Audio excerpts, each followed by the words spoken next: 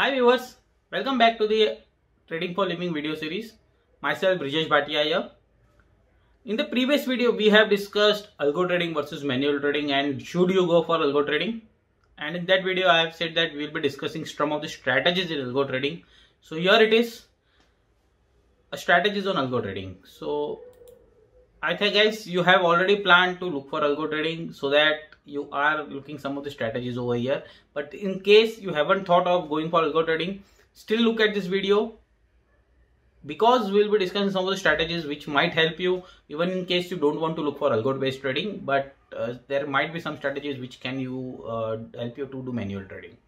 So first there are six strategies which we'll be covering. First is momentum. Second is mean reversion. Third is trend following arbitrage strategies, market making strategies, sentiment analysis. And sentiment analysis is very much important. So do watch this video till last because it will be an eye opener for you, I guess. So first, let's look at the momentum strategy. So what are the momentum strategy? Which means that uh, there are sometimes that markets open with the gap up and continue to uh, see their upside momentum or markets open gap down uh, and continue their momentum there are stocks which uh, are trading in a range for a longer time opens above the range and then continues their bullish momentum or again vice versa. So i have named this as gap, gapping play. And again for a trader when a stock is rising for 4 5 percent a day and you are into those trade no better fits than that. So for me gapping play is very much important uh, and this is a uh, method which I generally follow many a times when it comes to the momentum based trading. Second is news based or results which you want to play uh, and probably there might be that there is a news of company receiving an order uh, there is a court case which is possibility that company might win it out and uh, that are the news you can look at the company is probably offering uh, uh, coming up with the results which is expected on street that it, the company would be with the higher margin or good profit margins uh, there could be a sales increase in sales and those kinds of momentum which generally picks up. And you can look for those kind of trades which are into the momentum. Third and most important which are majorly used into the markets are 52 week high 52 week low. When stock hitting 52 week high they generally tends to give uh, good momentum on the positive side or uh, if it's hitting the low it generally tends to give momentum downside so you can gain gain uh, 3 4 percent out of that momentum. So 52 week high 52 week low is a strategy which is generally well known into the markets. Again breakout and breakdown as i said if a stock is trading in a range for a longer time it breaks out. Or probably the technical stuff there are triangles there are channel flags. So there are various aspects where the breakout and breakdown happen so there such kind of uh, momentum you can use it out on uh, the momentum based strategies. And again how can algo help you is because if you define some of the algos over here and uh, it comes into your system algos indication then it might go long or it might go short. Third is mean reversion. And this is again uh, so let me go through it. What is mean reversion? Then I will uh, discuss advantage and disadvantage of this. So mean basically the mean reversion is coming back to the average. Uh, so basically you run daily 5 7 kilometers and at some point of time you run 10 kilometers. So your energy levels will come down. At some point of time you will take a pause or probably uh, breathe it out, take a break, and your energy again comes to the normal level. So mean reversion is what a price deviating from XYZ moving average which you are using. Uh, so generally, if I look at from an investment of 200 days is generally known. Uh, 50 days is generally known. From a trading side, 9 days, 13 days, 21 days are generally known. And when the price deviate up from that average uh, exhaustively, which means that generally if you look at the price range, it's uh, 5 7 percent when from the X average, and suddenly it goes to around uh, 12 13 percent. So there is a possibility that it will be mean reversing or coming back to its averages. So here the mean reversion plays out. So there are uh, uh, multiple moving averages people use out. Uh, like as I said, say if you are trading on an hourly chart, so you might be using 9 and 21, probably 21, 34 depending on the momentum viewer so uh, there are some strategy which gives you crossover and you buy uh, negative crossover which you, you sell so there is a strategy called multiple moving average which is generally well known into the markets. Third is pair trading or multiple instruments trading.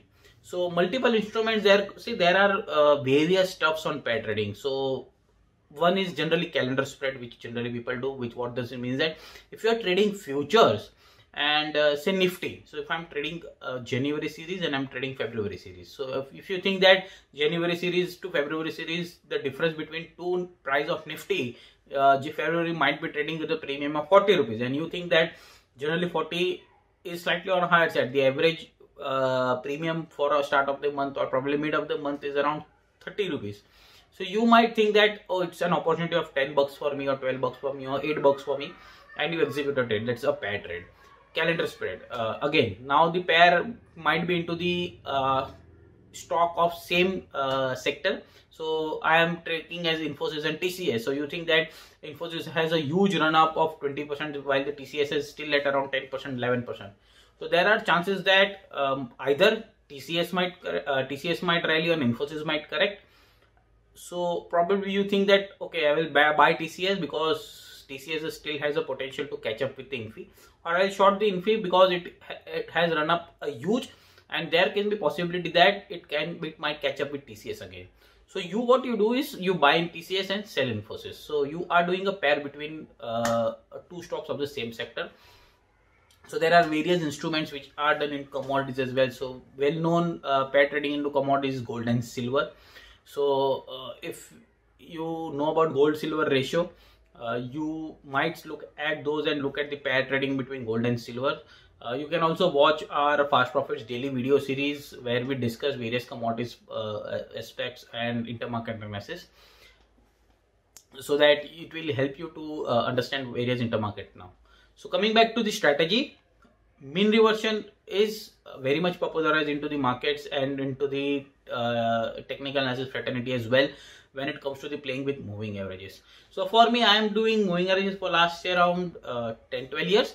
And uh, i used to doing commodities initially. And if i just i just share one strategy i don't have the backdated result now because uh, probably last i traded was around 2013 14 so from 2008 9 to 2013 14 i have test traded those.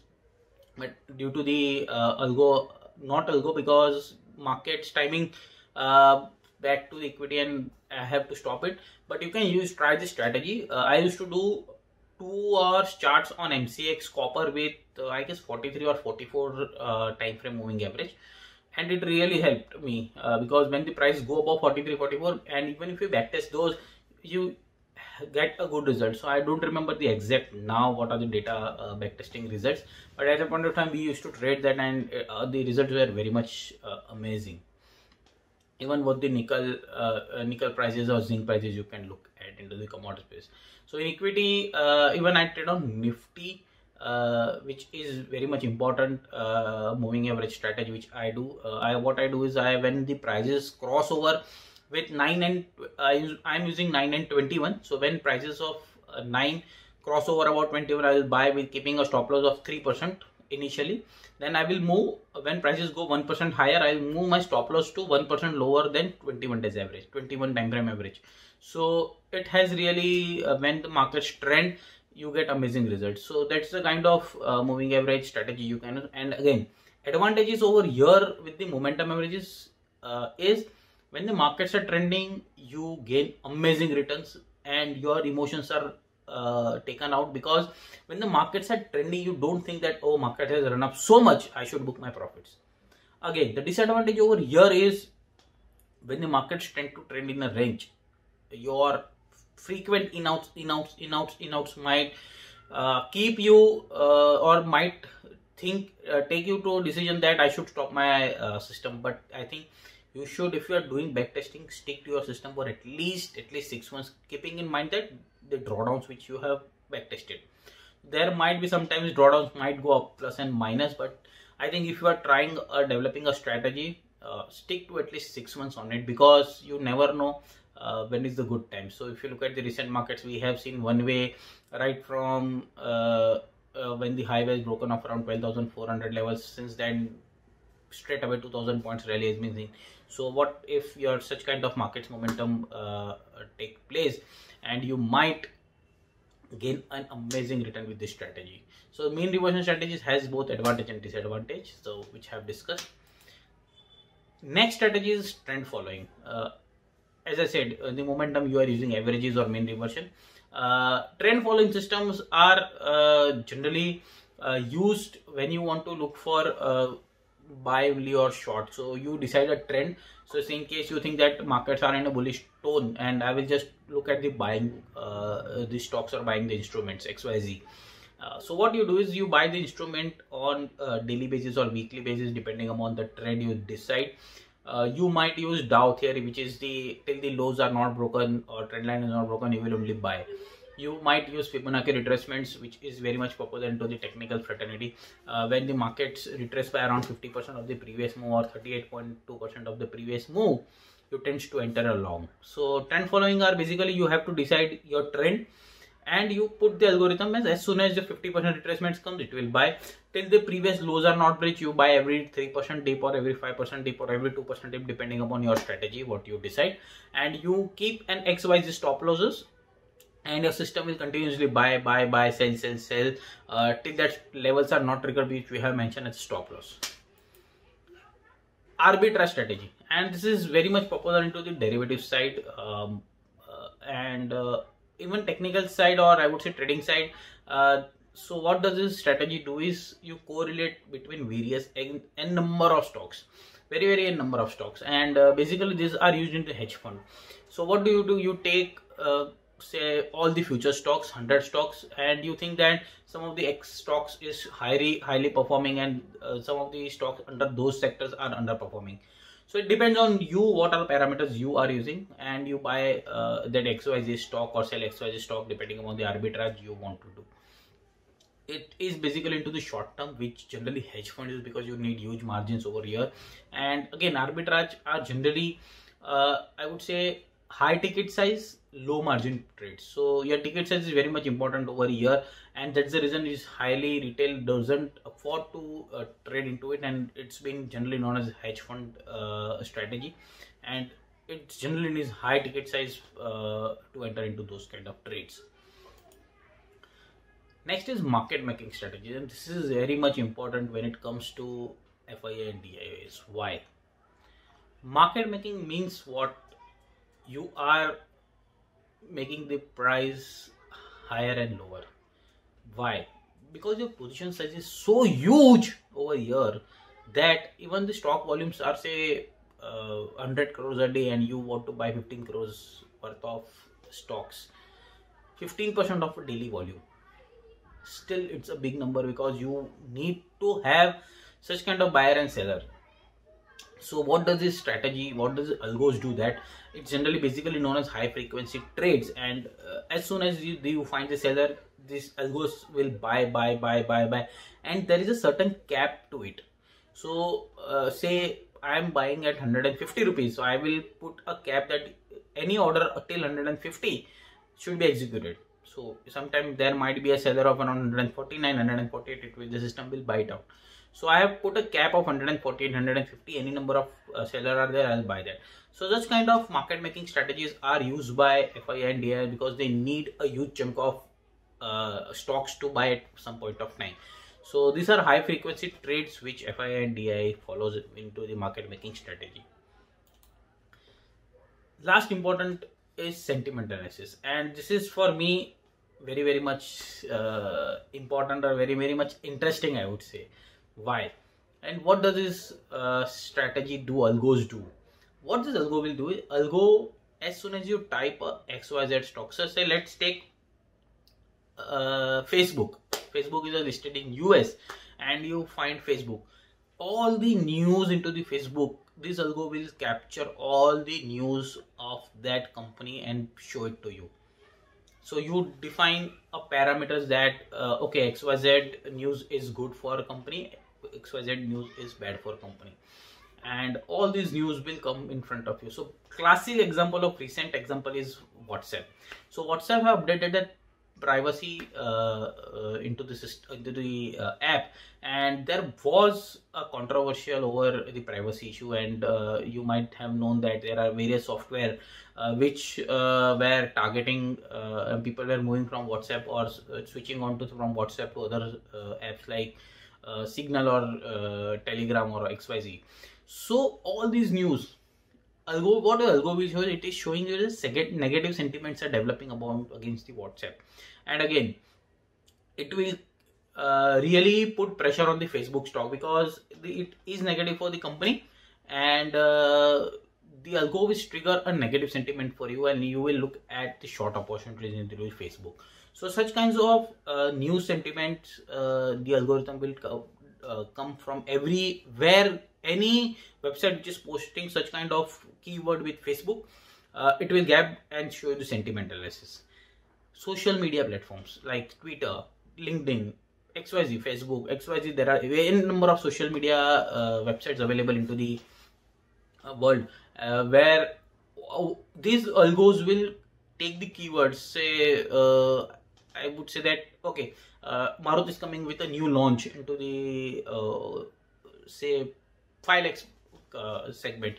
So what does this uh, twitter or linkedin will do? As soon as the maruti post that it will be coming up with new launch uh, this algo will show me the results of what are the positive feedbacks coming out of that model or xyz the features or z what are the negatives uh, views coming out of it. And it will show me the sentiment that okay the new launch is coming from maruti and the people are not liking those products people are not uh, uh, liking these features xyz this, this will create a sentiment for me and it will show me that okay it's 60% uh, people are liking the product 40% people are not liking it. Still there is, is a sentiment of positive over here.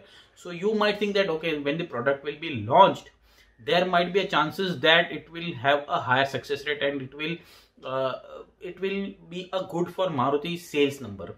So again, I'm not trying saying that this will be a, a intraday trade or two days trade, but from a launch from a launch date to the sales number, there might be a gap of around say, a couple of months, three months, four months, and for that time you have to buy a Maruti and hold on if, if you think that your sentiment analysis are showing you a positive sign for Maruti so such kind of uh, uh, analysis helps for help algo helps you to uh, take a decision on maruti.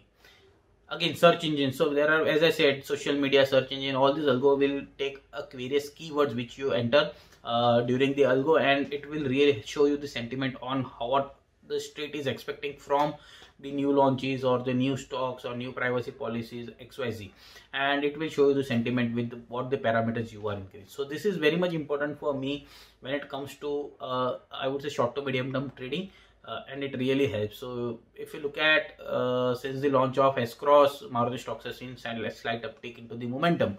Uh, so that kind of sentiment analysis you can expect uh, from your algo and uh, you have to decide the parameters of what you want to set out what kind of stocks you are looking at. So there might be uh, you looking at uh, some of the fmcg company and you think that okay this product uh, has seen uh, n number of sales. So possibly that due to coronavirus the pharma company which were expecting to come up with the vaccines what are the stages of uh, vaccine? What are the uh, approvals on those? So you can do all this search from sentiment analysis strategy into the algo. So this is very much important for me uh, when it comes to the medium term trading. So that's all uh, into this video and i hope uh, you like this video and please do comment uh, us on uh, the various uh, videos whichever you like and we will be coming up with more videos. In the next video we'll be discussing some of the technical strategies and in the, some of the derivative strategies which can you which can help you via algo uh, to minimize your uh, as i said we have discussed the previous uh, benefits of algo trading pros and cons of algo trading in our previous video. Still you haven't watched that do watch that video and stay tuned for our next video on technical trading uh, using algos and derivative tradings using algos. Thank you. Signing off Brijesh Bhatia. Do not forget to subscribe to my email newsletters fast profits daily and get a free guide on how to trade markets like pro Thank you.